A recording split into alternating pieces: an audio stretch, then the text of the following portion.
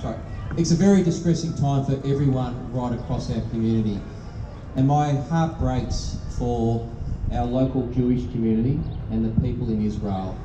And can I thank Philip, uh, Yossi Goldberg, for everyone that has been here to put on this really important installation. As a father of someone young, to see the young people's shoes there is a reminder of what has occurred on the 7th and what is continuing to occur some 25 days later. And we do want these young, innocent uh, people, men, women, children, brought home as soon as possible. I, thank you.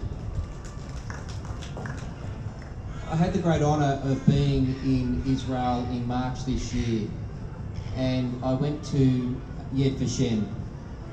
And I've got to say, this brings back memories of what I saw there, particularly the Children's Museum.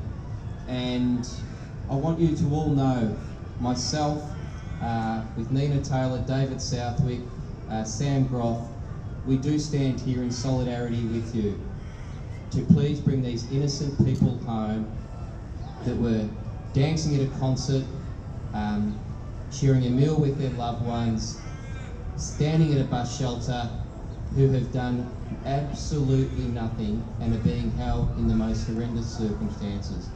Thank you. Let's bring them home and let's put the world's attention on what's happening to these poor innocent hostages in Israel.